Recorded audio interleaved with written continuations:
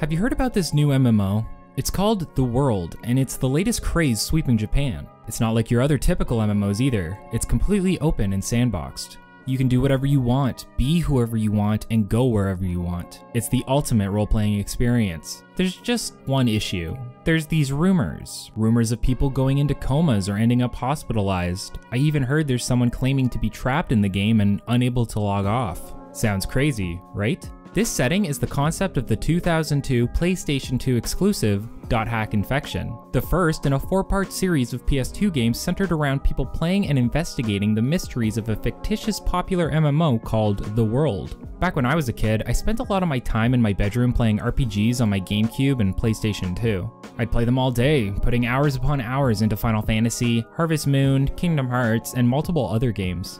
This was before dipping my toes into Monster Hunter. By the time I was done, it'd be dark outside, and our Canadian TV equivalent to Nickelodeon would start broadcasting anime for a few hours. The shows they broadcasted were pretty standard Dragon Ball Z, Inuyasha, and a few others that didn't really interest me at the time. But one really caught my eye a show about a character named Tsukasa who was stuck inside an MMO called The World, with no recollection of how they got there. Along with Inuyasha, it was one of the first true examples of isekai to me, a type of genre that is incredibly popular in 2020. This genre and this concept of a television series was something I had never really heard of before, and the art style, music, and atmosphere were so unique to everything typically on TV that I became instantly hooked to the 26 episode series. Isekai is the idea of accidental travel, where characters end up in a world that is unlike their own, usually fantastical in nature, and it dates back all the way to ancient Japanese literature. But it was a popular trope within modern Japanese media, dating all the way back to 1983 with the release of Aura Battler Dunbine. The idea of isekai wasn't a term that was widely well known to Western audiences at the time, but there was multiple examples of television shows that followed the trope in the 90s, like Digimon or Visions of Escaflowne, two of my personal favorite series as a child. The escapist nature of the genre makes it very appealing to a lot of daydreaming youths who spend a lot of their time playing video games, in effect me. So it was no surprise that the concept and atmosphere of Dot .hack sign grabbed my attention. Dot Hack Sign wasn't your typical isekai experience. It wasn't just about characters entering a fantastical environment, having the time of their lives, going on adventures, and making new friends. No, a lot of that was there, but was deconstructed in the process. A large portion of the anime focused on the darker side of isekai, and what escaping reality and the reasons for doing so might mean to both the central protagonist and those around them in their real life. The idea of the modern MMO The World is in itself about escapism, and the show explores what many of these characters Tsukasa runs into or are escaping from, as well as how it's affecting their mentality. And that's all the show had to do. It created this amazing setting full of thought-provoking discussion on escapism, as well as multiple mysteries around the MMO itself and its inner workings. Some of these questions and mysteries were answered, or at least shed light on within the 26 episodes of Sign, but many questions were left unanswered and had a younger version of myself really scratching my head. Fast forward to me on my computer googling whatever I could about dot .hack and finding out there were not one, not two, not three, but four PlayStation 2 video games centered around the series, with a new trilogy on the way. How had I never heard about this before? I had to have them. I needed them because I needed to know what else happened in this series. I needed to know what was going on in the world, and I had to experience firsthand this setting that I had only been able to watch on TV beforehand. What is Dot .hack, and how did it become one of the most expansive media media series out there today, with multiple video games, animes, manga, light novels, OVAs, and so on. In this multi-part video series, I'll be going over all four volumes of Dot .hack IMOQ, including Infection, Mutation, Outbreak, and Quarantine, as well as the game's significance and influence on modern series that came out after it. I'm Super Rad, and today I'm here to bring you a brief history of Dot .hack, Infection.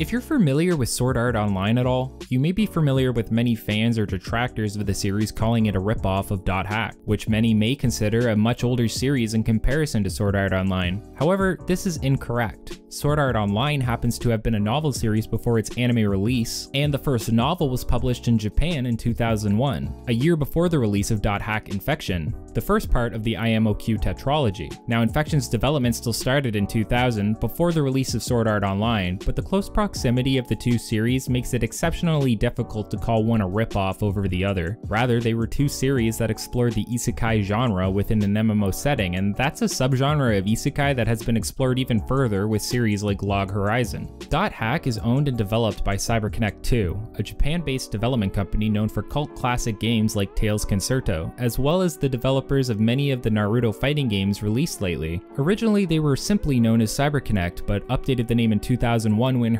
Matsuyama took over as the company's president. Funny enough, CyberConnect is now an in-universe company within the Hack series, known as CyberConnect Corporation, or CC Corporation, and are the company to release The World. Hiroshi was one of the main factors in developing Dot Hack and came up with many ideas and concepts for the series. Out of all the ideas, the main one to stick was the concept of an offline online game. The ability to feel like you're playing some sort of online experience without actually doing so. Matsuyama really liked this idea as it would give young players the ability to experience online without having to worry about monthly fees or internet connections. Do you remember me saying earlier that both the art and atmosphere are what really hooked me when it came to watching Dot Hack Sign? Well, there's a good reason for that. CyberConnect 2 brought on Yoshiyuki Sadamoto, best known as the character designer for Neon Genesis Evangelion, as well as Kazunori Ito, who was the scenario writer for Ghost in the Shell. In a 2003 interview with IGN at E3, Matsuyama mentioned that Dot Hack was to follow the four-part structure of traditional comics or manga in Japan, meaning the series was expected to be split into four parts since the beginning of development. To accommodate this, the games would be designed in a way that would allow the players to transfer their save data over from game to game upon completion. This meant players would be able to keep their levels, rare items, and progression with character affection and really feel like they were progressing along with the storyline and characters. This wasn't something you ever really saw within game releases, and the concept was so novel that I knew I had to experience it personally. IMOQ was part of a bigger set of releases known as Project Hack, which was to be a multimedia series. Project Hack is considered the first generation of releases within the Dot Hack series and consists of games, anime, CD dramas, novels, and manga. I won't be going into all of them, but generally they all relate to one another in some capacity and shed light on the overarching plotline and setting, with the games being the core factor that the other media surround themselves around. Sign was actually out before the first release of IMOQ and was a great introduction into what players could expect from the games in the series. So that's all well and good, we have this huge multimedia series consisting of pretty much any form of media you can think of. But what were the actual games about? What did Dot Hack Infection actually bring to the table and what could players do? Well, to understand that, we'll first take a look at the world and Dot Hack's storyline.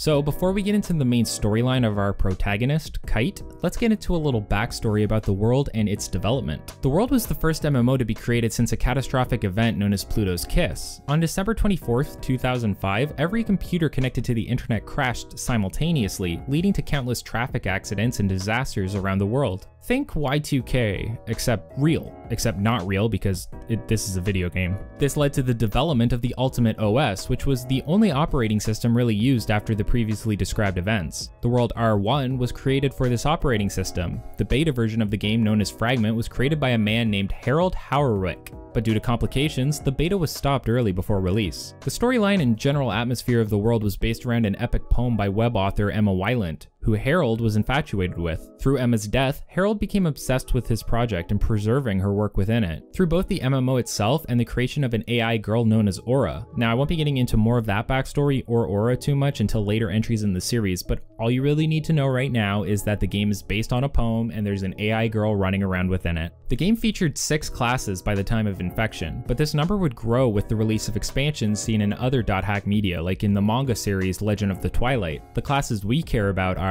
Blade Masters who use single-hand swords, Heavy Axemen who use two-handed axes, Heavy Blades who use great swords, Long Arms who use lances, Twin Blades who dual-wield daggers like Kite, and Wave Masters who use staffs to cast magic. Players hang out in areas called root towns, which function as hub areas across multiple servers. For example, players that access the Delta server can explore the root town Mac Anu, while players that move to the Theta server can visit Dun Loireag. These cities offer multiple functions, but mostly just shops for the player to restock on items before going out into a field to fight monsters. That leads us to the main and arguably most unique mechanic of the world, Chaos Gates. Each hub town holds a Chaos Gate, and players can use these gates to switch servers servers or input combinations of special keywords. These combinations of keywords will dictate what type of area the player is going to explore. Generally, the player will be taken to a field they can explore as well as a dungeon they can enter and complete for loot. Some have the fields act as a dungeon themselves, while other areas are completely unique and don't really seem to serve any sort of purpose. We'll get into more details about those ones later. For now, let's take a look at the storyline of Infection specifically, and then we'll go into all of the features that the player can interact with.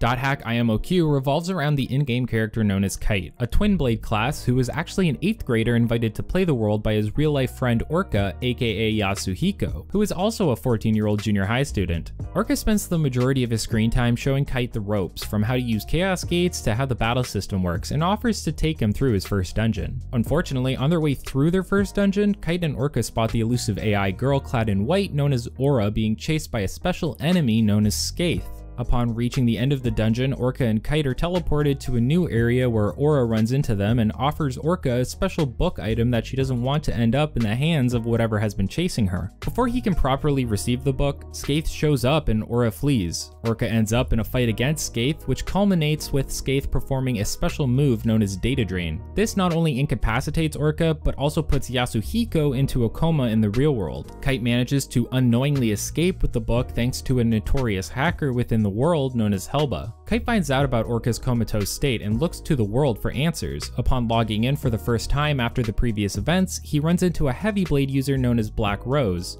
Black Rose is another user new to the game but tries to feign experience when she catches Kite staring at her. She offers to take him to a special area she heard about using the keywords hidden, forbidden, holy ground, which transport the two to a special area that isn't like the typical fields players explore. Instead, this area is a giant cathedral with a statue of Aura chained up within. On the statue are the names Skeith, Innis, Magus, and multiple others that can't be made out. Wait, wasn't Skeith the being chasing after Aura?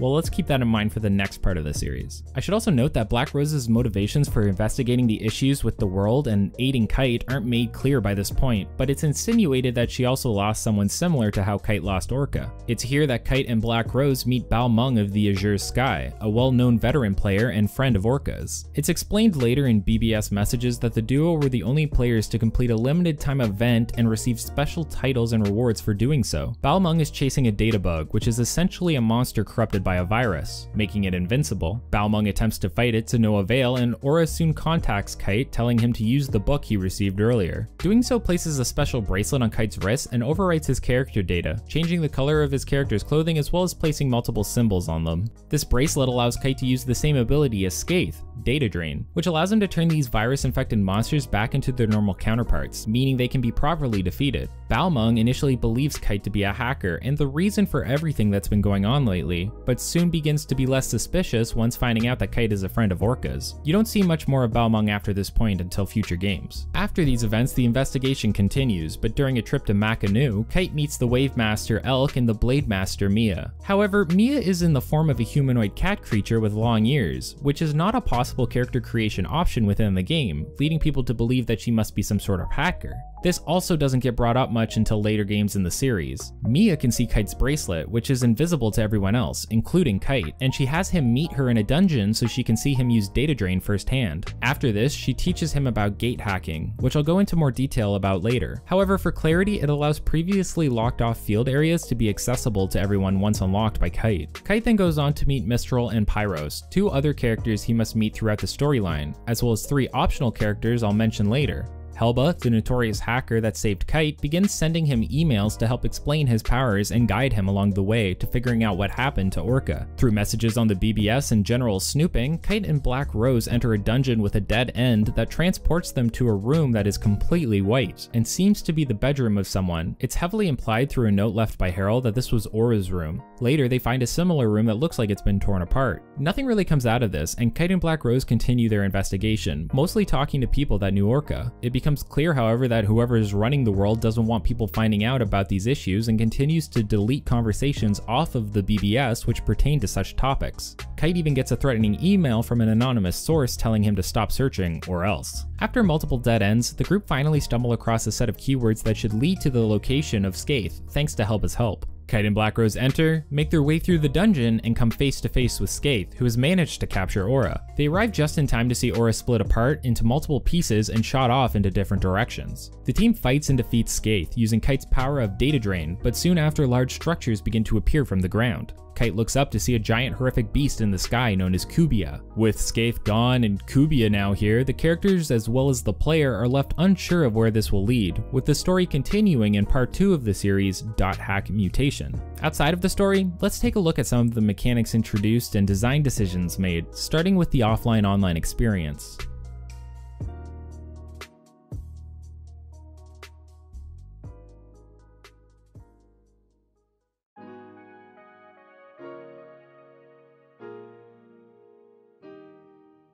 As I mentioned earlier, the team behind Dot Hack wanted to make an offline game that felt as if it was online in order to help give players who couldn't easily access an internet connection or the ability to pay monthly fees the chance to try out what is essentially a pseudo MMO. One of the first things the player will experience is the Ultimate OS desktop, here they can do things you'd expect from a typical PC like changing your desktop background, browsing the web for news, or checking your emails. Characters close to Kite will often send him affection emails which are unlocked as the player builds up their party members' affection through bringing them along for dungeon crawling or gifting them items. These emails can actually be responded to by Kite and the player with specific responses offering better affection values and leading to more character development for Kite's party overall.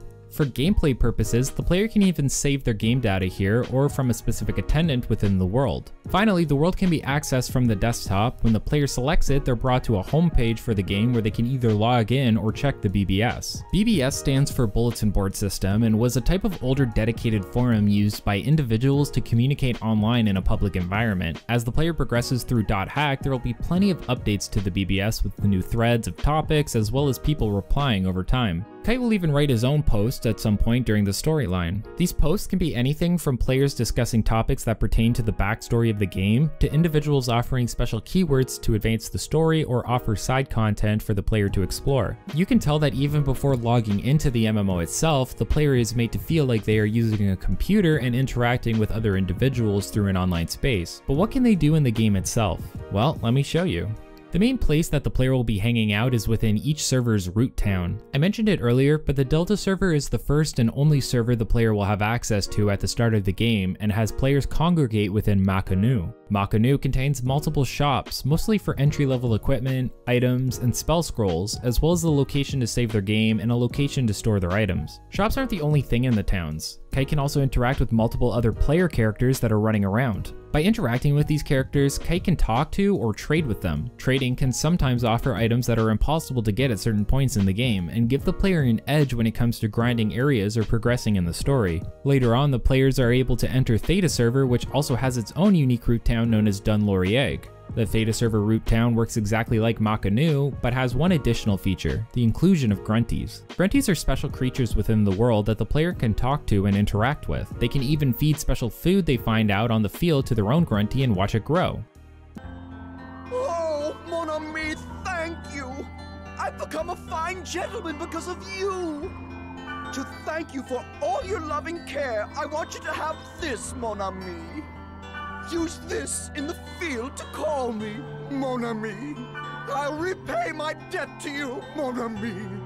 Specific combinations of food will determine what type of grunty yours evolves into, with each server from infection onward offering three potential types of adult grunties. In Theta server, the player can raise a noble grunty, iron grunty, and poison grunty. Once raised, they will hang out in Theta server to be talked to or traded with. Once you've raised your first adult grunty, you will get the grunty flute, which can be used in the fields of the server your grunties exist in in order to ride them around.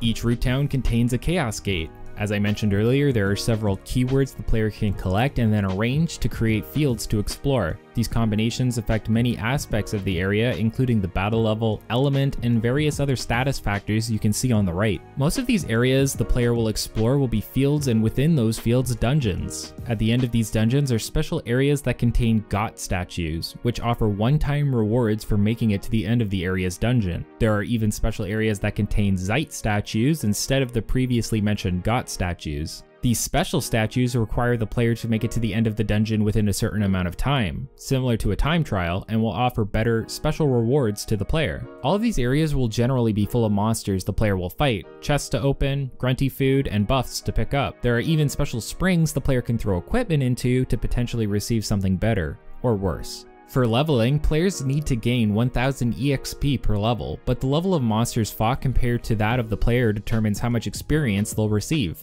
For this reason, the player will usually need to use a combination of keywords that lead to areas that are adjusted for the current progress. The highest level areas in Infection are level 30, but players could theoretically get to level 99 before the second entry in the series through excessive grinding. Party members Kite takes along with him, a maximum of 2 per excursion, will level up alongside him while party members that aren't used will also level up, albeit slower. In battle, players will generally use the X button to attack over time. It's a pretty archaic system to be honest with you. The player merely taps X to consistently attack the monster, and if they want to use any items or skills, they need to open up their main menu each time and navigate to the specific things they want to use. Later entries like the GU series remedied this mildly by adding shortcuts for skills, but in the original Tetralogy, that's unfortunately impossible. What gives the battle system depth is how effective elements and buffs are. Through the use of scrolls, any player's class can effectively defeat enemies if they have an elemental weakness. Weapons and armor come with built-in skills, some elemental. Items like Warrior's Blood and other buffs can be excessively stacked together to power up the character for a fairly long period of time, and skills like Abdu will produce an effect that allows the player to sprint across the map incredibly fast.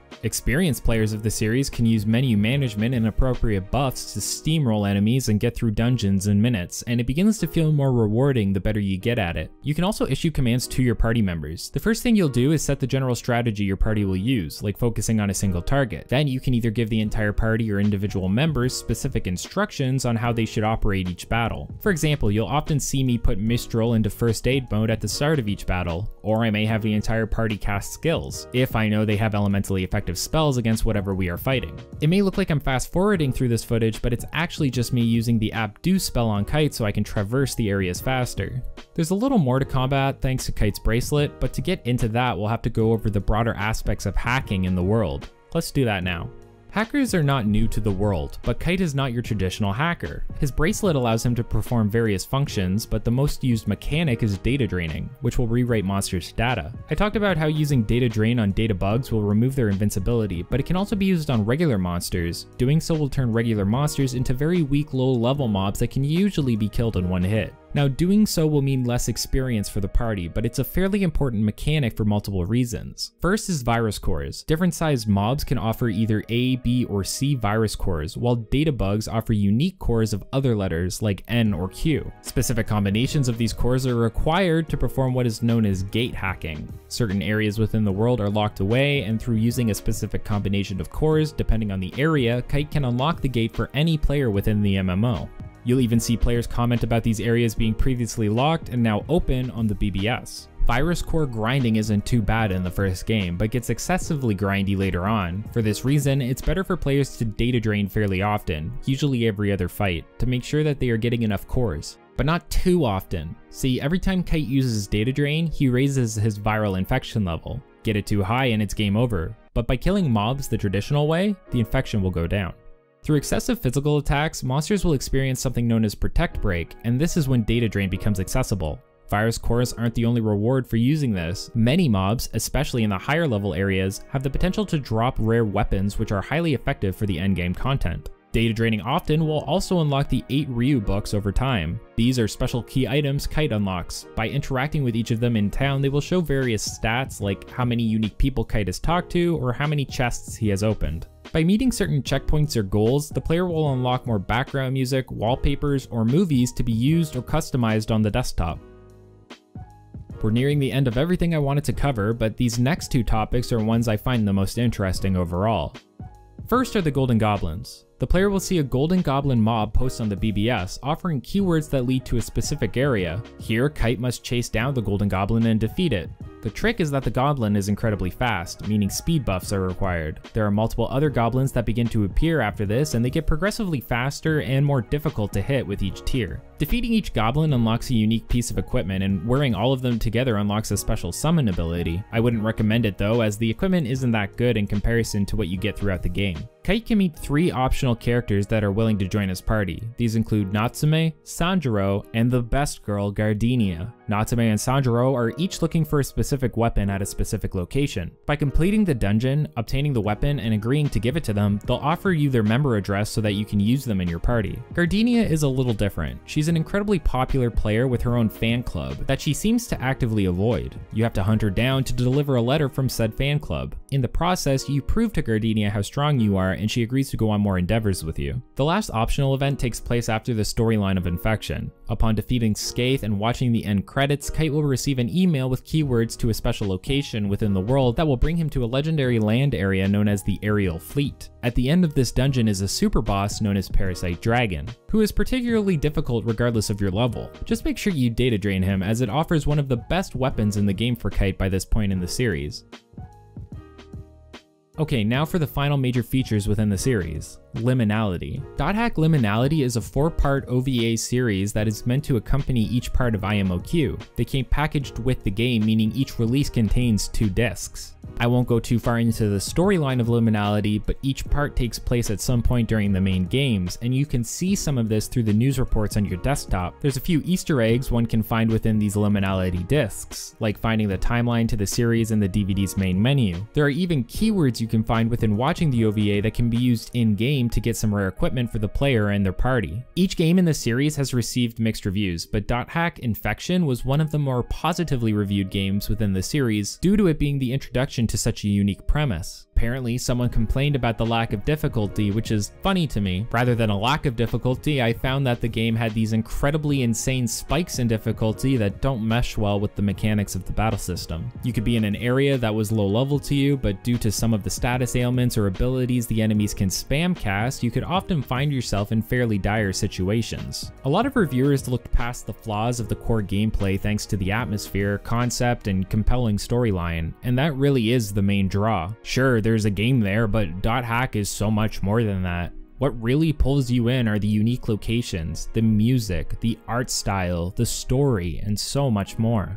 You can dive into a new world and really feel like you're experiencing some sort of online event, even today, albeit a little dated. I don't have a huge outro for this entry, but I will say this. Do what you have to to play these games, just so you can experience the unique storyline do what you have to to watch Hack sign. Hell, if you can't do that, at least go play the GU trilogy. They recently remastered the entire trilogy in one release and even offered a fourth chapter for players to experience. I must speak with Morgana to go where she wishes. The living flesh poses a hindrance, but I must, I must go for our aura.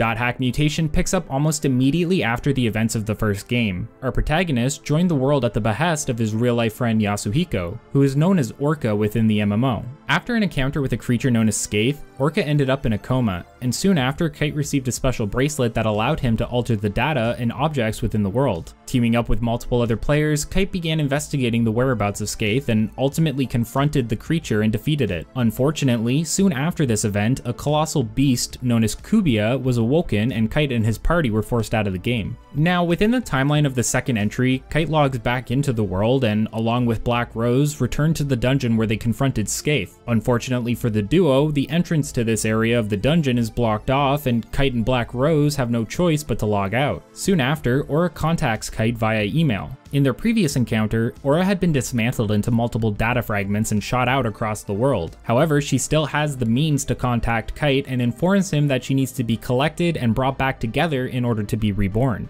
Kite and Black Rose are also contacted by an anonymous source who claims to have the ability to shed light on the events that have transpired and the coma victims. However, when they arrive at the designated meeting location, they are confronted by the MMO's system administrators, specifically Lios, who wants to delete them to keep control over the world, believing it to be the solution to preventing further issues while the administrators investigate the data bugs. Helba intervenes and convinces Lios to try observing Kite and Black Rose since they seem to be the only ones able to actually do anything. She also suggests that Kite investigate the epitaph of Twilight, suggesting that the world is based off of this poem. If you remember from my previous video, I mentioned that this was the case. This leads to the group basically running administrator errands for Lios and investigating infected areas he sends them to. One of these areas leads Kite to a failed data character who acts oddly in comparison to your typical player or NPC. But nothing really comes out of this. Upon investigating further infected areas, Kite and Black Rose run into another creature similar to Skeith known as Innis and manage to defeat it. However, defeating Innis causes shockwaves throughout the world and leads to a system crash, which sours Lios' opinion of the group further. Kite meets up with Mistral after receiving keywords from Aura about a special area. Mistral initially believes Kite is simply role-playing when he explains everything that has transpired, but soon comes to believe him when the group runs into Kubia. In their first altercation with the beast, Kite and Mistral manage to drive Kubia off, and Mistral soon begins to believe everything Kite has told her to be real. Further investigations lead to another white room, and another altercation with Balmung who implores Kite to stop trying to interfere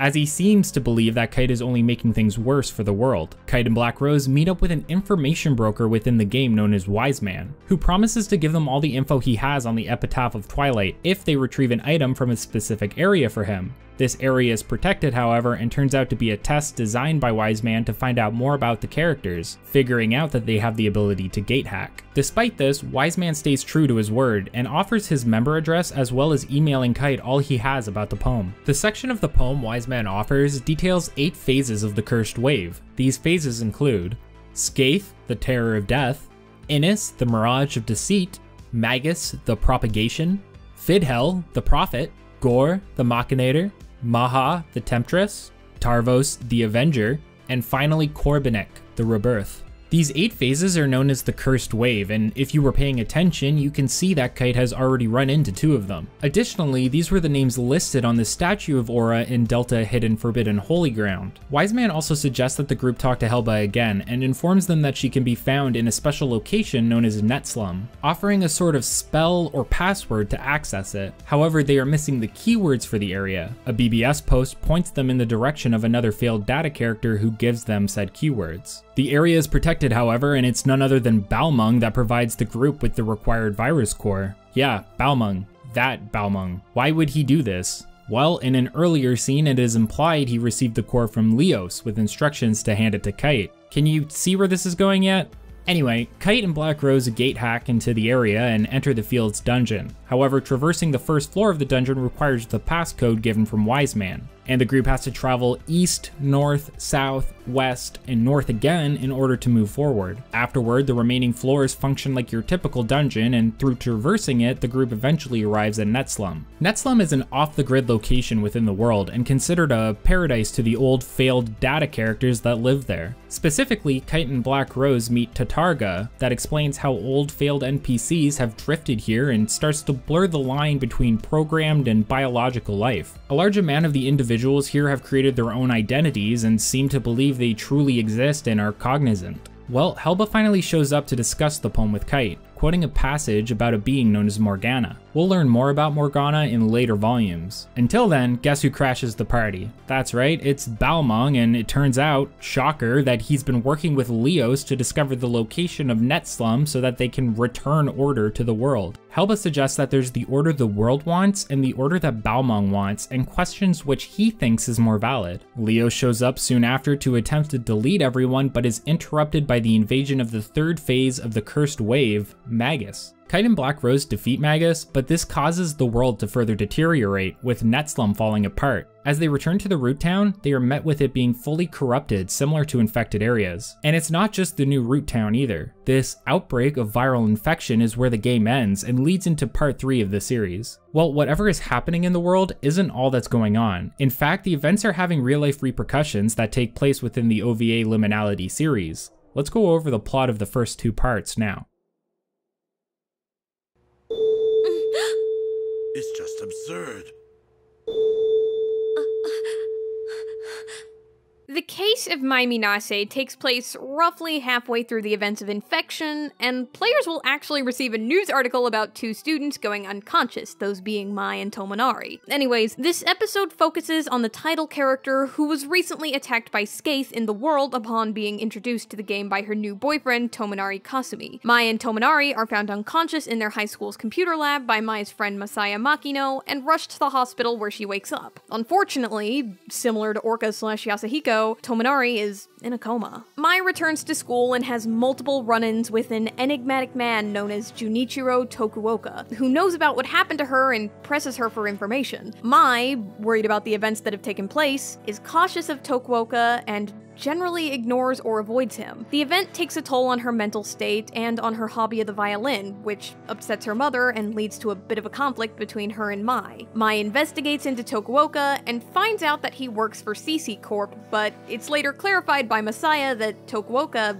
actually quit. Mai runs into Tokuoka again when visiting Tomonari in the hospital. He pleads his case to her without revealing much about what he knows, and she agrees to sit down with him for an initial investigation into the world. They use Tomonari's login information to access his account through the Altimit OS, revealing his in-game character name as Sieg. Tokuoka explains that there are already six comatose victims in Japan alone, but Mai initially believes Tokuoka to be trying to cover his tracks in regards to the coma victims and the war world and soon runs away from him as he pressures her for answers. Mai remembers the sound she heard when initially running into Skeith, A in C major, and her trained ears allowed her to use this to prevent going comatose somehow. Tokuoka calls up Mai later and apologizes for acting so aggressively, and she agrees to work with him again because she's just desperate for answers. Tokuoka asks for access to the computer lab where Mai and Tomonari fell unconscious, and she agrees, taking him there late at night when the school is shut down. Tokuoka recreates the scene by using a clone character of Sieg and having Mai log in with him. Together, they go back to the area within the world where the event took place, and Mai quickly hears the sound of A and C major again, as well as the two of them seeing a silhouette of Skeith. Apparently, this is supposed to be a possessed Sora from Dot Hack Sign who was data drained by Skeith near the end of the series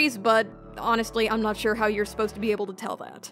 Aware of impending danger, Mai quickly disconnects herself from the game, but has to destroy the entire setup in order to save Tokuoka, who almost goes comatose. Masaya shows up just in time to help Mai with Tokuoka, and they wake him up by having built up water from the rain splash onto his face. Mai realizes the world isn't just a video game and agrees to continue investigating with Tokuoka, effectively ending the first OVA.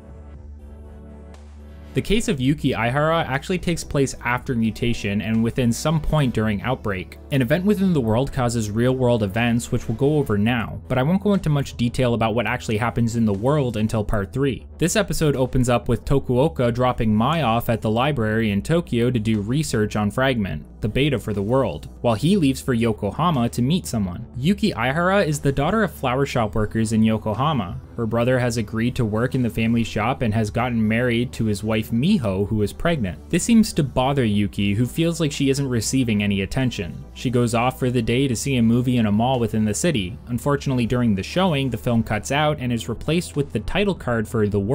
There is then a citywide blackout which causes multiple electrical disasters, including the shutdown of the mall Yuki is in, trapping her. Around the start of the blackout, Mai hears A and C major, which worries her, but she continues her investigation and comes across an article about Harald and the Epitaph of Twilight which she realizes is what she's been looking for. It's revealed through a phone call with Mai that Tokuoka went to Yokohama to meet up with Yuki, which she most likely didn't disclose to her family. This is likely due to a friend of Yuki's being one of the coma victims, which is revealed as Yuki traverses the mall in order to escape. Yuki is aided in escape by Kaoru Isaba, an office worker within the building. They soon find out that many of the ovens within the food court must have been left on and realize they need to escape before a fire breaks out or a possible explosion. The rest of the OVA is fairly uneventful, with with Yuki and Kaoru managing to escape through an elevator shaft without much issue. Tokuoka is late to his meeting with Yuki due to the blackout causing a buildup in traffic, but manages to ditch his car for a bike and arrive 6 hours late. Yuki and Tokuoka each receive phone calls. Tokuoka is informed by Mai about the epitaph. Yuki, picking up on this, realizes that she's heard about it before from none other than the woman on the other end of her own phone call, Kyoko Tono. Kyoko states that she must meet with Tokuoka, and this is where the OVA ends. As already mentioned, this part of the series actually takes place after mutation, and the cause for the blackout won't be made clear until the third entry within IMOQ. In the meantime, let's take a look at all the new gameplay features within this volume.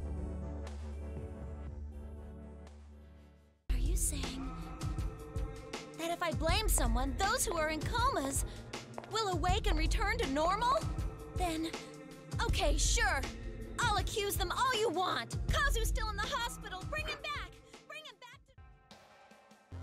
Access to a new server is one of the main features of this volume. Lambda server is finally unlocked and it comes with the root town Carmina Gadelica, which functions as a large bustling city location. This new town offers better spells, equipment, and consumables from various shops, but the main thing unlocked through Carmina Gadelica are the new grunties and the grunty flag races, which we'll get into later. Field areas can now go all the way up to 50, meaning it'll be easier for players to reach this level by grinding various dungeons, but combat has received even more of a difficulty spike. Enemies hit much harder and are more prone to using status ailments, and many are resistant to not only a single element, but potentially all physical or magical attacks. This means it's much more important for the player to build the right party composition for the area they want to explore, making sure they have the right elemental spells for some monsters. This generally requires the player to offer equipment to their party members as well as make sure they have all the skills necessary to be effective. For example, giving Mistral the bat earrings allows her to use the Ol Repth healing ability, which is the most effective at this point in the game.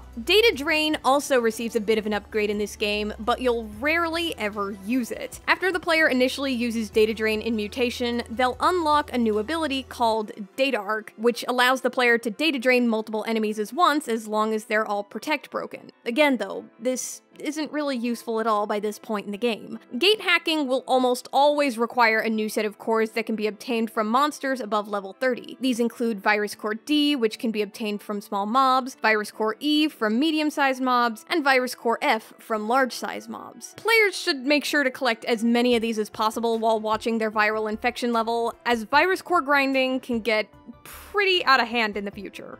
There are four new optional party members that you can acquire in this volume. Nuke Usagi Maru and Rachel are the first new members you'll meet, and each is unsuccessfully trying to host an event within the world. Nuke is a long arm and is attempting to host a battle talk show, but his comedy is so bland that everyone except Kite leaves. Upon meeting him at the end of the dungeon and helping him with the area's boss, you will receive his member address. Rachel is a Blade Master and is attempting to run a trade event, but is missing a crucial item to make all of the trades between the members work. Kite travels through the dungeon to get the required item and performs a series of trades to make her event a success. Upon doing so, Kite receives Rachel's member address as well. While traversing these dungeons, Kite will run into the Twin Blade character Moonstone multiple times. After running into Moonstone three times through optional side content, he will offer his member address to Kite. Finally, after completing the fight against Cubia, Kite will be contacted via BBS to meet at a specific dungeon and will run into the Blade Master Marlowe. Upon helping Marlowe with the dungeon's boss, he will also offer his member address. Golden Goblins also mark their return in this volume. There are another 5 challenges Kite can take part in to earn various parts of the new Golden Goblin set. Having all pieces equipped offers another goblin summon spell, but it isn't terribly useful. If you remember in my previous video about infection, I stated that all servers other than Mac Makanu allowed you to raise grunties and each of these servers have three specific grunties you can raise. Well, Theta and Lambda server both allow you to raise a noble grunty, but Carmina Gadelica comes with two new categories, those being Snaky Grunty and Bone Grunty respectively. Flag races are a special minigame event that Kite can take part in in both Theta and Lambda server. In these minigames, the player must ride their grunty within the town and collect three flags. The faster their time, the better their placing, and placing in either first or second offers special stat raising items known as gold and silver grunties that raise a character's max HP and SP. The player can win the second place and third place prizes up to three times before the NPC runs out of rewards, but in order to do this, they have to beat their previous times. For this reason, the player is better off saving and making sure they beat the old records, but not by much. This allows the player to consistently win and receive the items which are incredibly useful when it comes to upgrading your party's stats. Each Grunty has its own strengths and weaknesses when it comes to Grunty races, but generally Bone Grunty is best for Lambda and Iron Grunty is best for Theta. Just like in the previous volumes, there's a few special areas that you can get the keywords for by watching Liminality or Sign DVDs. I won't list them here, but you can find them on the wiki, and these areas will offer you a few rare items that can be used for trades and other various purposes. Upon completing the game's storyline, Kite will receive the keywords to another optional endgame dungeon that's unique in design in comparison to the other areas found within the game. The dungeon is pretty short and culminates with the players fighting against a super boss known as Angelmore. God, I hope I pronounced that right and I'm sorry if I didn't. But anyways, players that took out Parasite Dragon from the previous game will probably find this boss extremely easy in comparison. In fact, honestly, nothing in Mutation is really as difficult to Skeith or parasite dragon from infection except for maybe the Cubia encounter. Finally, there are a very special set of optional events that can occur, from meeting multiple characters from Dot .hack Sign to even experiencing memories of the events from the anime. Kite can find a conversation on the BBS between two characters from Sign known as Bear and Mimiru, who have similar character designs to Orca and Black Rose. Entering the area they are supposed to meet in will have Kite run into another Sign character known as A20, and upon completing the dungeon, meet Mimiru, who gives Kite her sword. Additionally, there are four separate scenes within the chapel of Hidden Forbidden Holy Ground, where scenes from the anime will be reenacted. First is the scene where Bear and Mimiru confront Tsukasa, the protagonist, about their real life gender. The second features characters from the anime discussing Tsukasa and their actions within the world. The third is rather special as it focuses on Sora, who is another victim of Skeith. Fun fact, after the events of IMOQ, Sora loses his memory and actually ends up as the protagonist of the Dot .hack GU series in the world R2. The final scene is an altercation between Sora and the long-arm character Crim. Each of these events offers specific items which are required in later volumes for unlocking certain optional party members, but we won't spoil that until we get to it. Maybe this was a turning point. The relationship between me and the game, the world, has gone beyond pure amusement. .hack Mutation offers the most content and gameplay for the player to experience so far and really starts to touch on the general themes of the game's plotline. Are AIs really alive? Can data feel and establish its own identity? Is the world alive in some capacity? And if so, what does it want? The line between reality and virtual reality begins to blur. The mystery deepens and players have to ask themselves, are Kite and Black Rose helping anything by defeating these phases and fighting Cubia? All it seems to be doing at this time is destroying the world over time, and that's with only 3 of the 8 phases defeated. The next part of this history series will cover DOT .hack Outbreak, the third part of the IMOQ tetralogy, and explore the results of Kite's actions within the world.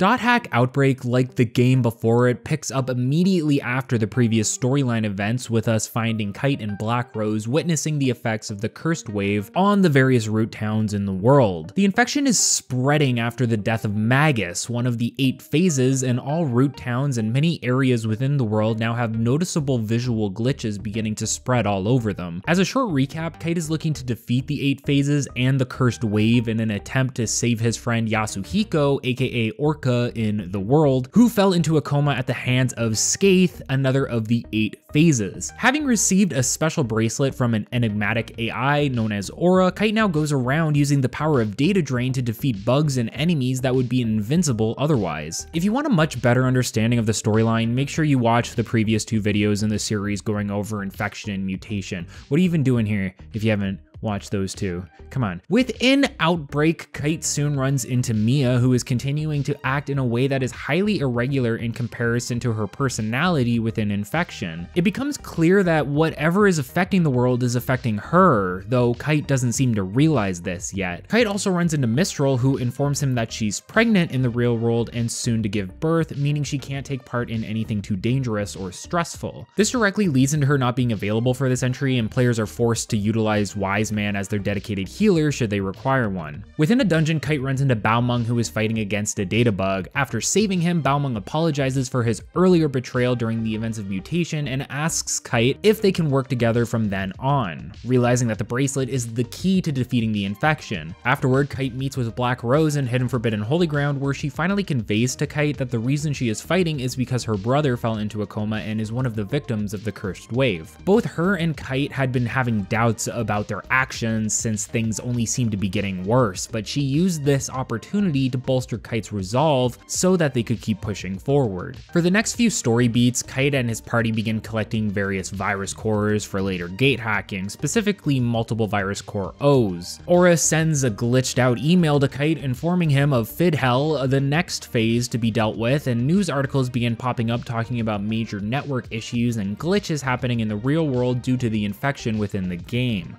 Is confronted by Balmung as Kite shows up to meet him. Both players have lost patience with Lios due to his betrayals and overall lack of communication, but Lios seems to care very little, instead tasking the two with exploring a dungeon to analyze the infection. He agrees to go with them to see for himself and begins to realize that the world will be completely consumed by the infection if things keep going the way they are. Soon after, Kite's party goes to meet Aura, but the meeting is interrupted as they run into Cubia for another encounter, and Lios witnesses the party manage to repel it. The group realizes that Cubia seems to not only be getting bigger, but also directly trying to intervene whenever the party tries to talk to Aura. After repelling Cubia, Kite wants to stop working haphazardly and instead have everyone join forces, meaning Lios and Helba, who are normally at odds. Black Rose concocts a plan to have Lios and Helba meet in the net slum by writing a provocative BBS post, and once done, Kite explains to Lios that they need to start working together, believing that while Lios is a CC Corp employee, he still cares about the world and the victims that are in a coma. Lios informs the party that there is a data bug in a specific location, and if they can beat it without data drain, he will work with them. While this sounds impossible, Kite agrees to the confusion of Black Rose, and the party goes to fight said data bug or data bug or whatever, managing to kill it without data drain. Lios asks why they didn't use data drain and explains that it is a fake data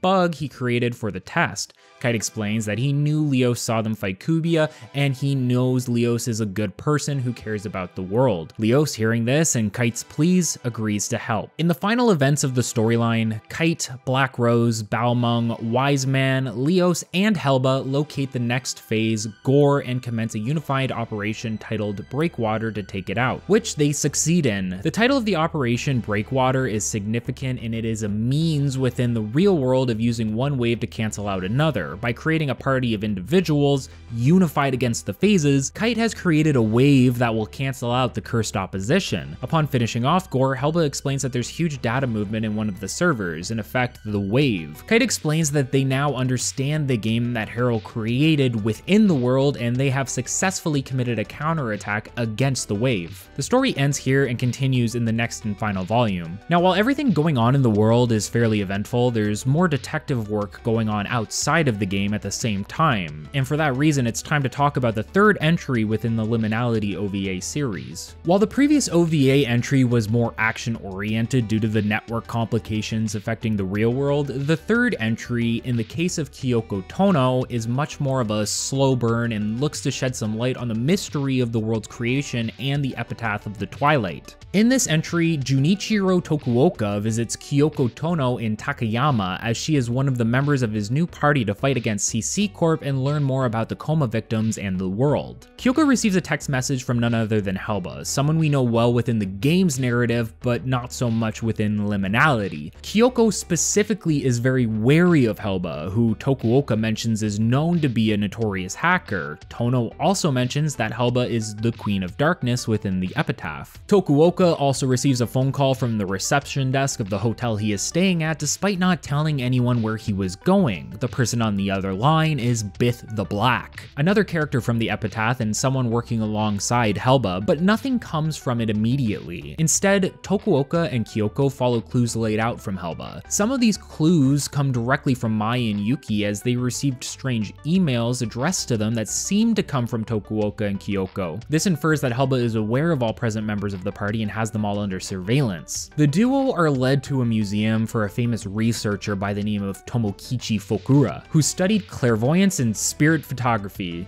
for real. Here, Kyoko lays out a bit of the story found within the epitaph for Tokuoka since there seems to be a connection between this professor and the story. On their way out, they meet with an old woman who gives them their next clue and catch a glimpse of a man within a taxi cab who seems to be spying on them. Kyoko's father picks the two of them up during some downtime and he explains that Tokuoka wasn't the only one interested in the epitaph today. Kyoko's parents are researchers and work for the local paper, and a man named Ichiro Sato paid him a visit to get more details about the book, but the father refused. The point of refusal was how much trouble the epitaph was overall, having first appeared online authored by Emma Wielant, with said original version being lost when she died at the age of 28. Many people were interested in the story, including occultists, but only 70% of it was found and restored, albeit inaccurately. For this reason, it's become impossible to tell what is from the original and what is just a fabrication. Kyoko explains a bit about about Emma's backstory, touching on how she was a high maintenance girl from a rich family who had both of her parents die. An uncle wanted to adopt her for her inheritance, but she refused. However, the inheritance was a trust fund that she would only receive when she was 20, so she went to school for nursing in the meantime.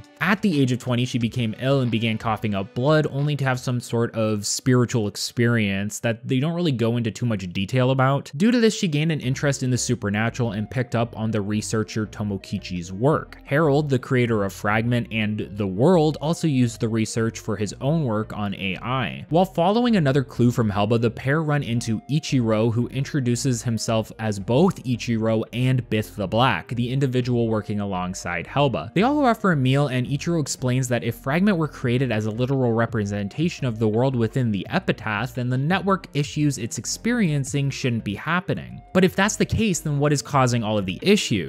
They also have a discussion on consciousness and how Harald brought the outward inward, bringing the real world into the virtual. It's all philosophical. They're eating Big Macs. It's hilarious. They briefly mention the title of the OVA, Liminality here, where you can like point at the screen, you can say, they said it. They said liminality. I, I made it to the point where they said liminality, which is a term used within anthropology, which refers to the transition between two states, suggesting that what Harald brought into the world is autonomous and changing gradually. Finally, Ichiro explains that for them to figure out what Harald was doing, they'd have to commit to action together and potentially become criminals in the process. He waits for the pair to agree before explaining to them what has to be done, but this is off screen and kind of left as a cliffhanger at the end of the OVA. Like you don't, you know that they have to do something criminal, but you don't know what it's going to be. The group is told that they will be contacted next on Christmas Eve.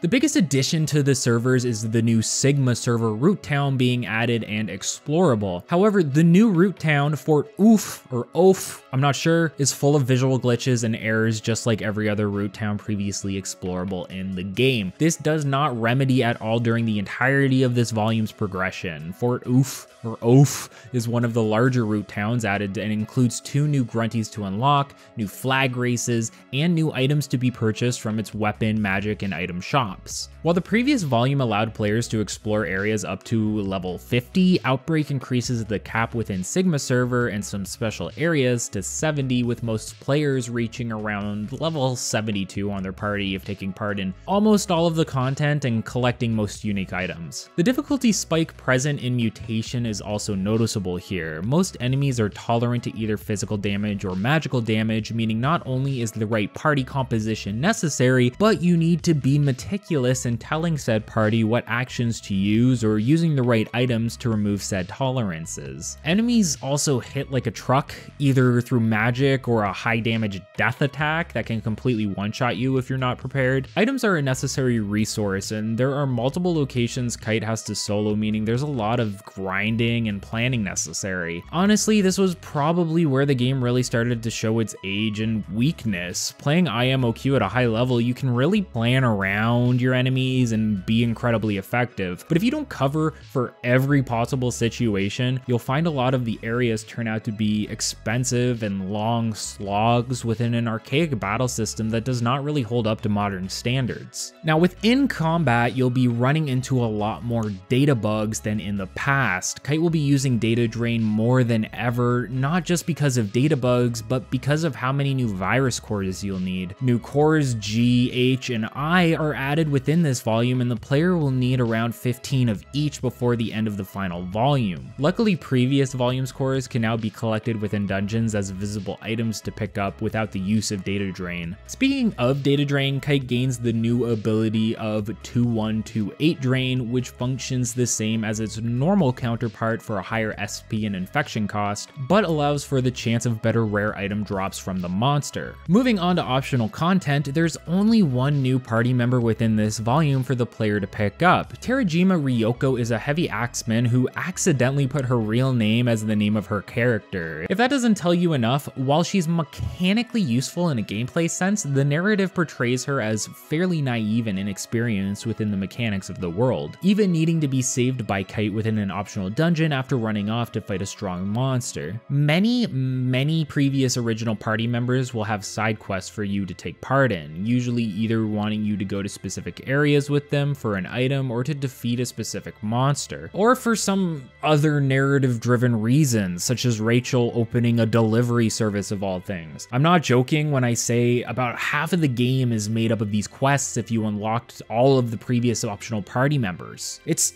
too much, man. And some of these guys are under leveled, so you're just getting one shot the entire time and making you waste healing items and resurrection items on them, and it's just costing you money. Like, come on, Moonstone, put your back into it a little bit so I don't have to carry your ass into a level 4 basement of a high level dungeon. On the topic of minorly annoying side quests, there's a new set of optional Golden Goblin trials as well. If you don't remember from the previous videos, these tasks involve the player entering into an area solo and killing a single golden goblin who runs around the map at high speeds, meaning the use of buffs and items are necessary to succeed. To make this even worse, most of the trials in Outbreak have you fighting not one but three goblins at a time, many of whom can either heal each other, deal magic damage against you, or both. The general strategies usually remain the same with using a speed buff, damage buff, and accuracy buff to take out the goblins, but later on they get so fast that you need to start casting sleep spells on them to even get a hit in, and eventually spells to remove their magic tolerance so that you can blow them away with elemental spells. For Grunties, Noble Grunty marks its return within Sigma server with Melky Grunty, Melky Grunty, and Aqua Grunty making their first appearances. Melky Grunty and Aqua Grunty. And Aqua Grunty's terrifying awful. Flag races also return, and I won't be going into them again, but there's a brand new mechanic for when you ride your Grunty out on the field. Now each of the three Grunties per server can search for portals or items for you while you ride them. An example is Noble Grunty being able to find Grunty food for you. Simply ride Noble Grunty and press triangle and it will automatically traverse to the closest location. Grunties like Snaky or Melky can also take you to the nearest monster portal, making clearing field portals much easier and less time consuming overall, which is great for Ryu books. In the previous volume, you could go to specific areas to watch cutscenes that were recreations of scenes that happened within the companion anime series Dot Hack Sign. This is not to be confused with Dot Hack Liminality. This is a completely different series, takes place around the same time, I believe before the events of uh, Hack IMOQ. You even got to meet Mimiru and be gifted her sword. In this entry, there's a much more involved side quest that leads to a lot of decent stat raising items, specifically the hunt for sign character ghosts. Starting with Mimiru, the player can visit a specific location within a specific root town to find a ghost version of Mimiru that will vanish upon talking to her. The player will in turn receive a special desktop wallpaper featuring a bunch of silhouettes of various sign characters. The player can do this in several locations several times to unlock the next sign character and repeat the process. You'll start with Mimiru, then find BT, then Bear, Sora, Crim, Silver Knight, A20 for some reason, Subaru, and finally the main character of Sign, Tsukasa. A20 is a really weird choice as she wasn't incredibly relevant in the anime in comparison to the other characters you meet. Each time you complete the six encounters per character, their silhouette will be replaced with a picture of the character themselves, but the true reward of this endeavor isn't seen until the final volume of the series. Finally, there are three special areas to explore in this volume. The first is a high level area best saved for near the end of the storyline where players will visit a dungeon they are tipped off about within the BBS. It is said that a person witnessed a red wand in this area and said red wand was utilized by Skeith and Infection. When Kite reaches the end of the dungeon, he finds the wand and watches as it is destroyed, freeing the trapped Sora character within it. Confused? Sora was a twin blade character from Sign who was attacked and possessed by Skeith during the events of that series. Once Kite defeated Skeith and found the wand, Sora was finally set free.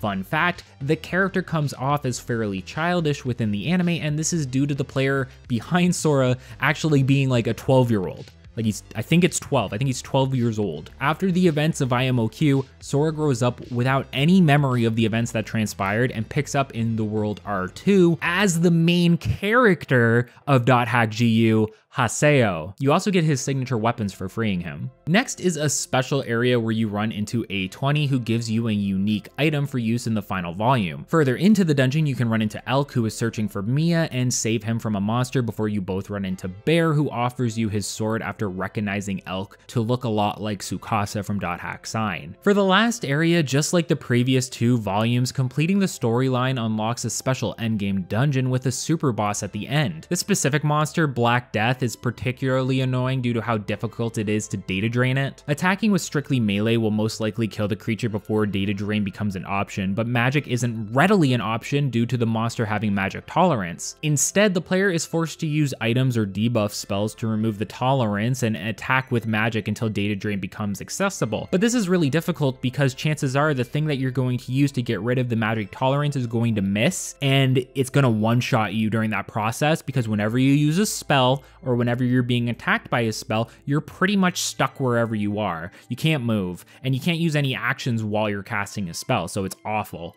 And you you just die. You just you just watch yourself die and you try again. I tried this fight like three, four, maybe five times. This also marks the end of all the optional content aside from Ryu book grinding for new background music and wallpapers in Outbreak. Thanks to all the side quests and plot points, Outbreak is potentially the meatiest entry within the series, and with some of the toughest battles overall. It's also where Virus Core grinding becomes the most apparent and will continue into the final entry. Now, without a doubt, Kite and his party are fully on board for a counterattack against the Cursed Wave, looking to form a wave themselves that will cancel the events of the infection out and save the world as well as the various coma victims. The end is in sight, and soon all mysteries will be explained, hopefully. Outbreak is definitely one of the entries I remember the least within the series, but going back to it has a huge nostalgic aspect for me and many others. There's plenty of people begging for a remaster of IMOQ now that the same has happened for GU, but honestly, this game does show its age more and more every time I go back to it. While a remaster would be nice for preservation's sake considering how expensive the individual volumes are, IMOQ will be a rough experience to return to for many players who haven't played the game in years years. The next part of this history series will cover the final entry dot hack quarantine and explore Kite and his party's efforts to finish off the rest of the cursed wave and the eight phases. There's only three left, including Macha,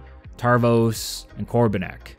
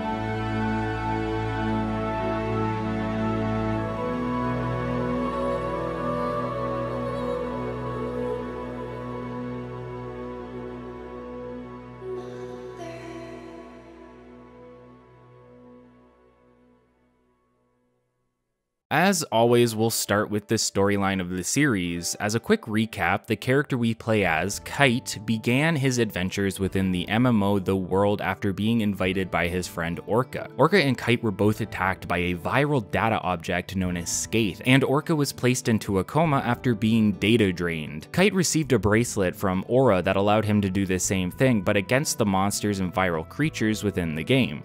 Data draining and its secondary ability, gate hacking, allow Kite to travel to locked off areas within the game as well as destroy members of the cursed wave such as Skeith, Innis, Magus, and many others. Kite meets up with various other members including Black Rose, whose brother was also placed into a coma due to the events within the world. Kite teams up with the notorious hacker Helba and many other individuals within the world including the system admins to begin fighting against whatever lies within the world in order to save both his friends friends and the AI child Aura. The group untangle various mysteries on their adventures, including the motivations of the creator of the world, Harald Hoerwick, and the AI creation system, Morgana Mode Gone whose job it was to create the ultimate AI before attempting to prevent it after gaining sentience, but we'll get into that a little bit later within Liminality. As Kite and his party begin defeating the eight members of the Cursed Wave, various aspects of the world begin to fall apart. Kite and his party also ran into an enigmatic monster known as Cubia that chases after Aura, leading to confrontations whenever she finds and talks to Kite. By the end of the third game, Cubia is still out there, but Kite and his party are ready to counterattack the cursed wave in order to save the world. Everything from here on will detail the story within Quarantine. As I just mentioned, Kite and his group formed a counterattack against the cursed wave. Kite specifically felt he better understood Harald's game that had been laid out for them and how they were supposed to play it in order to defeat the remaining phases of the cursed wave, including Macha, Tarvos,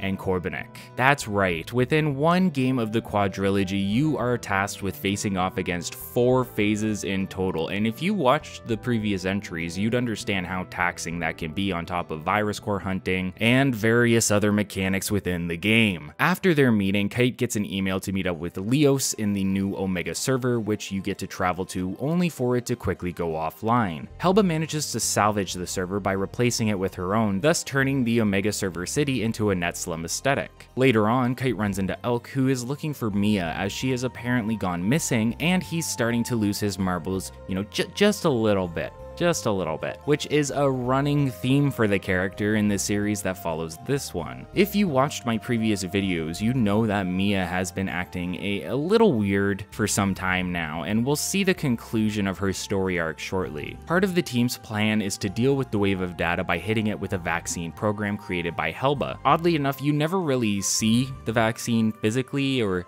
even its use, all of the phases are technically defeated by Kite. But there seems to be suggestions that Helba and the team with the vaccine are at least doing something, you know, in the background, but you, you never see it. The plan is to trap the phases by having system administration slowly track them. Kite references a similar setup to what orca whales do, trapping prey with a single exit of escape to herd them towards a dead end he aptly names the next operation Operation Orca. Meanwhile, the real world is experiencing its own host of issues via the network crisis created by Morgana and her cursed wave. The hospital that is housing Orca's comatose body, aka Yasuhiko, has a new bulletin explaining various issues with their machines. This prompts Kite and Black Rose into accelerating their plans and motivates them further. Before continuing, however, Kite is given a keyword by one of the Netslum NPCs, and this takes him and Black Rose to another dungeon with a herald room that reads off the epitaph. Elk agrees to join the team, but this will cause a few issues later due to his depressive spiral involving Mia. Piros also calls on Kite for some help dealing with a scammer, but it's just a filler quest and turns out Piros misunderstood, putting him in the wrong. Now, as the operation is put into place, Kite and his team travel to keyword cruel vindictive stars, and they'll actually have to come here three separate times, meaning you, the player, will have to explore this same dungeon dungeon three times as well. Unfortunately for Kite and the party, when they reach the end of the dungeon, it seems that the wave has dissipated and a new data spike has appeared elsewhere, prompting Kite and his party to chase after it. This leads them to Mia, who cries out in agony over her personality and identity being erased while transforming her into one of the cursed wave phases, Macha. Kite and his party defeat Macha in one of the longest cursed wave fights yet, and Macha turns back into Mia temporarily for Elk and Kite to see her as she dies. Happens. Elk loses his mind and blames Kite for what happened while Mia dissipates in Kite's arms. There's no real time to grieve, however, as Lios informs Kite that the wave has reappeared within Cruel Vindictive scars. The party heads back for a second time out of three times and runs into Aura, which, if you have been keeping up, means that they also run into Cubia. This leads into another battle encounter where the party must defeat three of Cubia's cores one after another. These fights in particular are rather grating due to the core having either magic or physical tolerance and switching between them periodically. Once Cubia retreats, the party heads back to the Omega server root town and every party member shows up to help with the final operations, including any optional party members you picked up throughout your journey within the quadrilogy. The party heads to Cruel Vindictive Stars for the third and final time, this time running into the phase known as Tarvos. Once defeated, Kite meets up with various Netslum NPCs within Omega server who all disappear. Later on, they all post on the BBS providing keywords that will allow Kite to gain the virus cores necessary to visit Harald within the world. Each of these areas are incredibly important in terms of leveling up your party due to them housing a specific enemy known as Guardians. Guardians are creatures created by Morgana to exert her will where the phases typically cannot. For example, within the anime.hack sign, Tsukasa has a Guardian present with them that frequently defends them for reasons explained within the anime. Each Guardian appears gelatinous with a Twilight bracelet within its core. The bracelet allows them to perform data drain within the anime, but I never saw this in the game itself. Once data drained, a Guardian takes on the form of the bracelet itself. While being incredibly powerful, it's still relatively easy to defeat and can offer upwards of 520 experience per kill, making it a huge bonus to run into as you'll gain late game levels incredibly quickly. Once all four areas are cleared and the data bugs within them have been defeated, Kite will have four virus cores necessary to enter one of the worst dungeons in the game. This is a 10 level dungeon full of data bugs, meaning that the player will be data draining a lot unless they get exceptionally lucky. Since data draining causes Kite's virus level to rise and getting it too high can lead to a game over, the player essentially has to make sure that they get the last hit in on any enemies to help lower their level. It is exceptionally grueling and it's only trumped by the even worse bonus dungeon at the end of the game. At the end of the dungeon,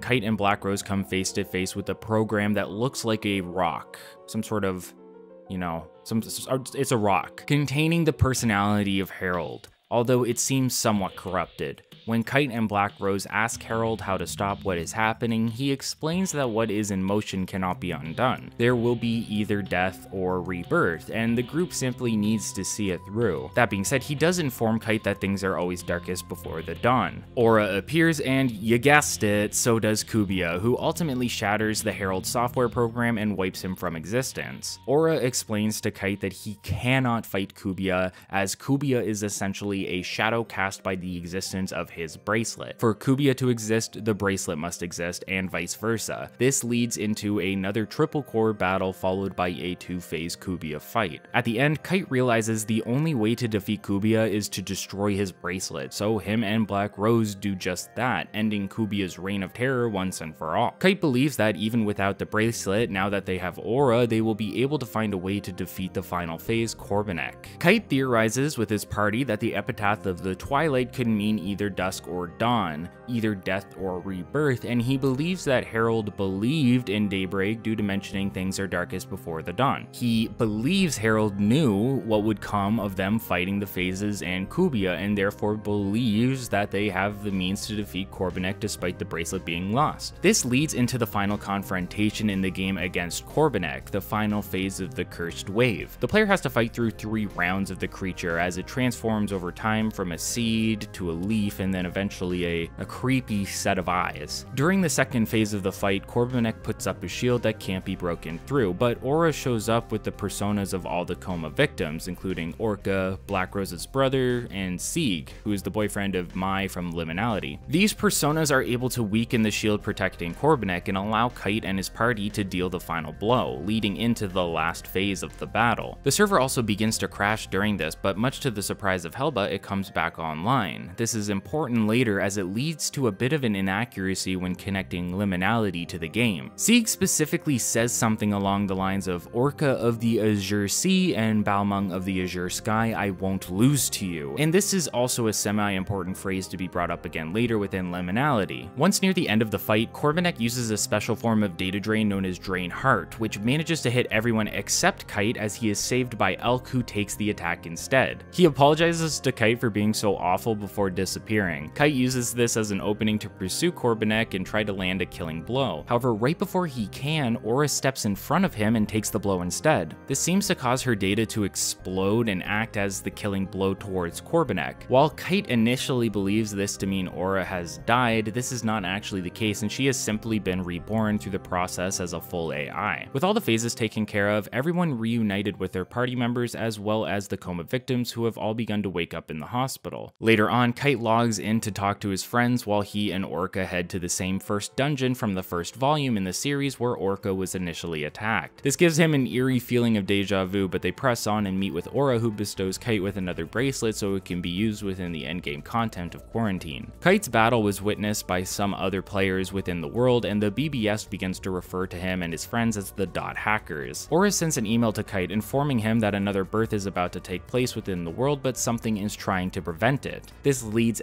And Kite into a whopping 15 level dungeon. Easily the worst and most grueling dungeon in the game, as it is full of data bugs, and you essentially have to be lucky in terms of data draining, praying your virus level doesn't rise too high as you advance. As Elk and Kite progress through the dungeon, they see Phase Macha, a cat-like version of Macha that appeared in the Dot Hack Sign series. Macha originally worked for Morgana, but betrayed her after Tsukasa, the Sign protagonist, showed her kindness. Macha sacrificed herself in that series, but with the death of Macha in the games, seems to have been reborn. At the end of the dungeon, Kite and Elk have to fight the Dawn Wanderer, which upgrades into the Temptress Lover midway through the fight in order to save Macha.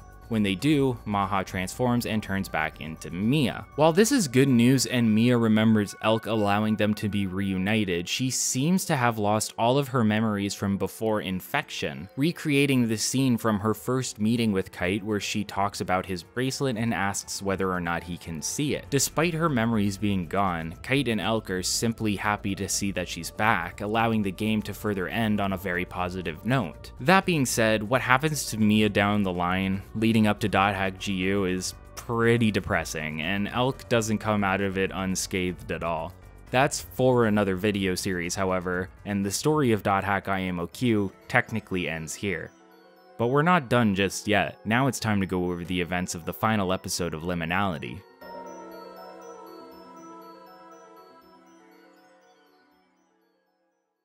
Dot Hack Liminality Volume 4 Trismegistus is the final entry within the Liminality series, seeing Tokuoka, Mai, Yuki, and Kyoko all united for a raid on a high security data building where they hope to find evidence to take CC Corp to court. I'm not sure why the title of the OVA is what it is. Hermes Trismegistus is a Greek name for an Egyptian god surrounding mysticism and magic. I can only assume it has to do with the magical nature surrounding their job in the world. Tokuoka and the girls are on a small cruise ship eating sushi, implied to have all been paid for by Helba's group of hackers. They're on their way to meet with Ichiro Sato or Bith the Black from the previous volume and are infiltrating a mega float so that they can access the Maritime Information and Support Center, which has countless high-powered computers for them to access and make use of while trying to gain evidence on CC Corp. Ichiro meets up with the group and they take a smaller watercraft to the shore as it has less security than if they took the roads. The group discusses how data volumes within the game seem to be abnormally large and they often shrink back to normal size after some time time. This discussion leads into Harald's motivations for the world and how he loved Emma so much that he looked to create their child as an AI within the game. Fragment, the prototype for the world, was merely a container for said child, that being Aura, and the fluctuating data volumes actually house the personas of individuals playing the MMO. By collecting their personality data and feeding it to Aura through the Morgana system, they could create the ultimate AI with a personality of their own. This system inadvertently created its own personality and thus became Morgana Mode Gone,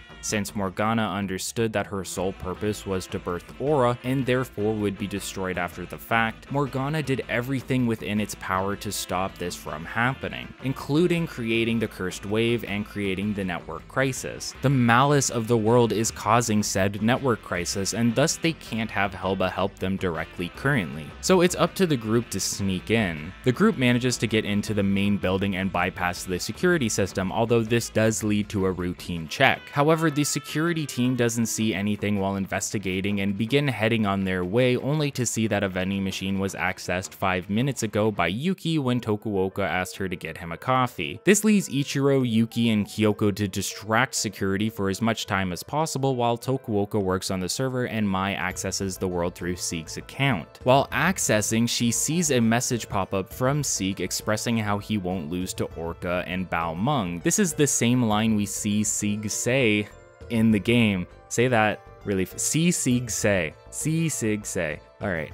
Tokuoka manages to get the processes set up for his server, but is unable to link it with Helba's. This is because the events of Liminality are happening side by side with the Corbenik fight and leads to instability. Instead of linking with her server, he deems it necessary to replace hers with his own. During this point, we see Tomonari, aka Sieg, in the hospital beginning to awaken from his coma. Mai begins to get motion sick and has to be temporarily saved from the game by Tokuoka, but she goes back in shortly after to help replace the server. Meanwhile, Yuki and Kyoko are being chased by security, Mai mentions how she saw everyone in the game fighting to save the world and the coma victims. Now this is where a bit of inaccuracies between the games and OVA begin. In the games we see the problems on Helba's side because we see the server begin to crash during the Corbenik fight, they suddenly come back online and Helba is confused as to how this is the case. However, in the anime, Ichiro shows back up to Mai and Tokuoka's location where Tokuoka informs him that they will replace Helba's server. Liminality implies that Helba knew about the plan all along, yet the games imply that she had no idea what happened. This could simply be a slip up between two teams trying to create parallels within the story. However, there is a theory that Helba is actually multiple people. It's possible the Helba Ichiro was talking to was not the Helba we interact with within the games. Regardless, Tokuoka and Mai managed to successfully swap the servers, allowing the characters within the game to continue their fight with Corbenik. Tokuoka and Mai abscond from the scene while Ichiro stays behind to meet with security. When they arrive, Ichiro explains that he is a network security analyst that works for the company and flashes a business card before walking off with the men that had come to take him in he seemingly gets out of this situation scot-free. Tokuoka is not so lucky, however. As Yuki and Kyoko are cornered by security, they are saved by Tokuoka and Mai who knock out the men from behind. However, one wakes up and grabs Tokuoka and he tells the girls to run while there's still time. They do so and Tokuoka gets beaten for a short time before being thrown into some sort of jail by the security team. It's, it's not a police jail, but you can tell it's some sort of like security area. Now, I had to look this up on the wiki as I was unsure where he ended up and how he got out, but Tokuoka does walk out of the jail after being beaten. The wiki states that this is because Helba expunged his records or something, but I could never find actual proof of this. Rather, I think the simpler answer would be that Ichiro convinced them to let him out since they were part of the network security analysts. Once out, he's met with the three girls who came to greet him, and they mention how it's a shame they lost all the data they could have used against CFC Corp to bring them to court. However, Tokuoka pulls out a small data disk from his back pocket, implying he had the information they needed. The girls celebrate and Tokuoka suggests that they all go grab a bite to eat, ending the episode. Liminality is a rather special piece of media. I don't think I've ever seen a game series that actually provided an anime episode with each release like what Dot Hack has done here. It's one of the most unique ways of presenting media to a player and effectively acted as a bonus to look forward to whenever you bought a new volume. While the overarching story of Liminality wasn't the deepest form of storytelling we've ever seen, the sheer aesthetic and vibe given off within each episode was fantastic to watch even today. The art style, music, and locations all lend themselves to make Liminality as great as it is. Most importantly, Liminality offered us a glimpse into the real world outside the MMO so we could see the effects the games were having on Japan rather than just the various areas within the world. Liminality is a philosophical and anthropological concept. It discusses one's sense of self and identity and the transitional process we may go through or our society may go through during a catastrophic event. In a way, Kite's party and Tokuoka's team are dealing with liminality, Yuki specifically mentions how the old her has died, and she is excited to be the new version of herself. In the same way, everyone in the series has grown and transitioned in some way, shedding their past selves and becoming someone new entirely, seeing the birth of something new, similar to Aura being born as the ultimate AI. Now I'd like to move on from the real world of liminality and head back over to the MMO so we can discuss the various new and repeating gameplay features seen in Quarantine.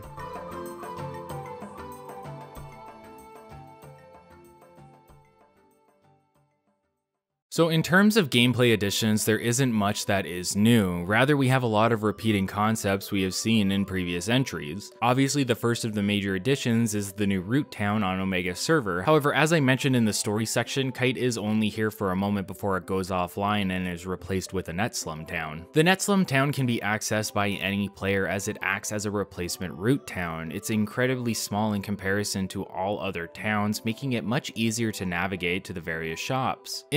Interestingly, Sigma Server, a town you visit after it's already been corrupted, can be visited after beating the game to see it in its original glory, along with its own town theme playing. This is the only time you see it this way. On the other side, the Omega Server root town is never replaced with its original version, meaning you never get to explore it unfortunately. In terms of generic gameplay, this is the volume where players can finally hit level 99. One of the best ways to get close to this is by grinding Guardians, which I mentioned earlier due to them giving some of the highest EXP in the game. Some of the most annoying enemies will be found within this entry, however, things that can essentially one-shot you, cast constant debuffs on you, or be tolerant to certain types of attacks all come in droves, meaning you have to be alert at all times while fighting, otherwise you could get overwhelmed in the blink of an eye. Items are incredibly necessary, and that means a lot of trips to shop, so having a lot of GP on you is essential. On top of annoying enemies, there are plenty of data bug areas within this volume, meaning not only do you have to fight a monster, but then data drain it to fight it again and then finally kill it. Other than that, combat remains the same. You perform your basic attacks and spam skills or spells when necessary, and you tell your party to generally do the same unless you need one to be a designated healer. Speaking of data draining, this game requires the player to collect J, K, and L cores from small, medium, and large monsters respectively. It is highly recommended that you follow a guide or something through the previous volumes to make sure you always have enough cores going into the next volume, as receiving cores from previous volumes gets exponentially harder as you level up and progress throughout the game. Kite also receives a final data drain ability known as Drain Heart, which we see Corbenik use in the final fight of the game. It acts similarly to 2128 Drain in that it gives you a better chance at receiving rare items, but this one is an AoE version, and you'll probably never use it.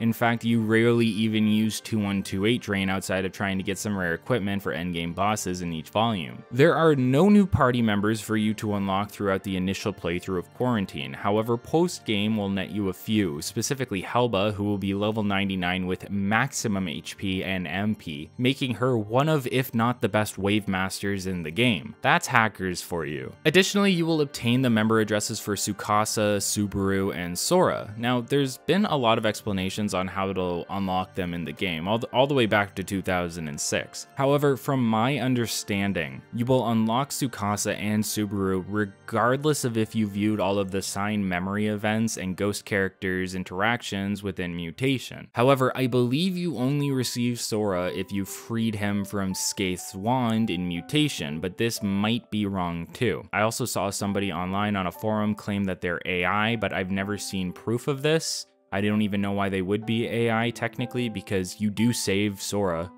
It, it could be the real him technically. Even if it's not canon, it could be him. To find out how the characters are unlocked, one would need to play through IMOQ from start to finish and guarantee that they skip all of the events to see what unlocks them, and I'm not going to do that again.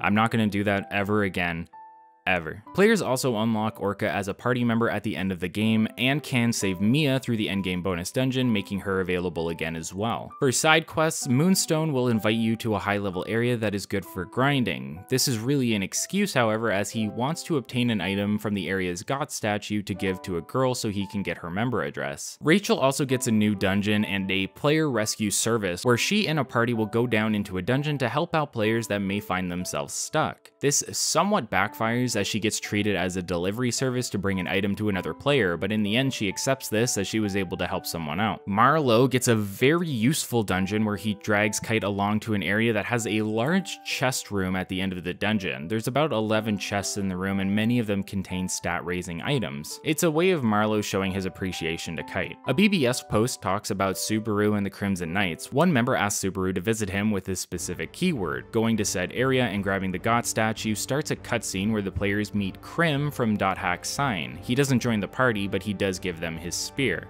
If the player gets Black Rose and Terajima both to 1000 affection, the maximum either can be, they will both send Kite an email to find a rare item in a dungeon. Both provide the same keyword and Kite has to take each of them along at the same time. The dungeon is full of forks in the road, causing Black Rose and Terajima to fight with one another over which way to go constantly. By choosing Terajima's route at least twice, Kite can obtain Subaru's axe. I found this one incredibly silly, considering fairy orbs exist within the game and show the player the map of the area, as well as where all the monster portals would be. They shouldn't have been arguing over this because it's a clear game mechanic that they would know where to go. The Golden Goblins are back and consist of five tag events for the player to take part in. I'm not going to go over the mechanics of the goblin fights again but it's worth noting that you can bring your party along this time, making it substantially easier. This volume also marks your final set of grunties to obtain. Players can get the obvious noble grunty that appears in every server, as well as the rocker grunty and the woody grunty. Once all three are obtained, another flag race is unlocked for Omega server. Should the player complete this and get first place, as well as first place in all other servers, they get a bonus wallpaper. Early into quarantine, there is an item completion event that is mentioned, but ultimately cancelled. Players are expected expected to obtain and show off around 600 items in order to receive a prize. The event may be cancelled but is brought back within the post game and can be completed. However, it's awful and ultimately not worth it. Players must show a specific event NPC within any server the items they have on hand. They have to be in your inventory or your storage area in order to be marked off.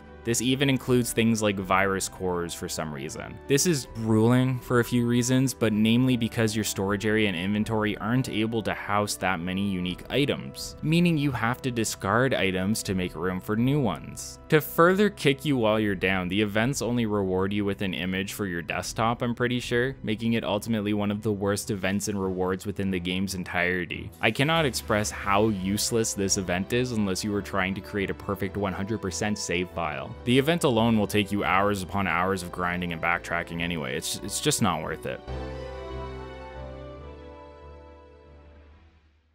Alright, so some final thoughts.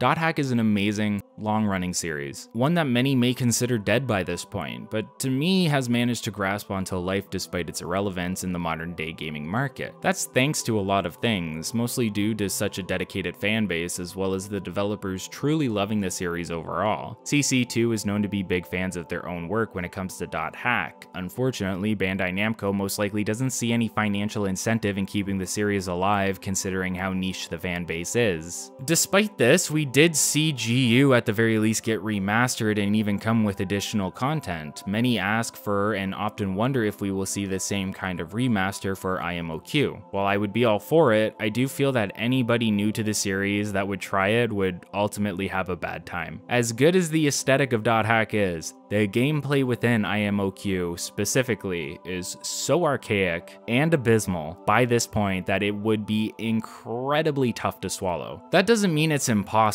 however. Like how GU added some new features, IMOQ could potentially do the same in the form of quality of life. The multiplayer PS2 entry fragment was built off of the same engine and framework, while also adding in things like skill shortcuts so you didn't have to go into your menu every time you wanted to do an attack. Seeing something like that plus additional changes brought over into IMOQ could make it a much more enjoyable experience for a newer player base. I really enjoyed making this series. It's a passion project of mine born out of the love of Hack and its ever evolving and expanding narrative. I've loved these games, anime, manga, and light novels for as long as I can remember, and I hope these videos give you a reason to try the games out for yourself if you have the means to. If you enjoyed this video and found it informative, consider supporting the channel by liking, commenting, and subscribing. Again, it only takes a couple of seconds and helps support me in my goal of creating this content for you all. I'll try to respond to every comment I can, so if you want to hear from me, be sure to let me know. Additionally, you can find me on Twitch, often playing through Monster Hunter Challenge runs and discussing various topics. I hope to see you stop by. Thanks so much for watching, everyone, and I'll see you in the next video. Hey, thanks so much for making it to the end of the video. This is just a collection of previous Dot Hack history videos that I spliced together to uh, do a re-release of, but I do appreciate you watching it. Uh, we're now in the Patreon section of the video where I go ahead and shout out everyone that's a G rank patron over on Patreon. So if you want to support the channel, you can do so. Uh, high tier people show up here. They show up right here and uh, G rank people get vocally shouted out. So thank you to Frank Santorelli, uh, Wooly, Ralkhar, Prime XD, Ashtray, Moh Al Qassemi, Captain Zhiba, Cyberworm, Johnathon, Strange Lee, Lewd Hifumi, Rosaleo, and Mr. Janky. Thanks so much, and uh, shout out to Redbard who appears in the second part of this video. Uh, go check out their channel. Awesome videos. They just did one on AzumiCon, which is really, really interesting, and I watched the whole thing, so check that out too. Thanks for watching, everyone. 上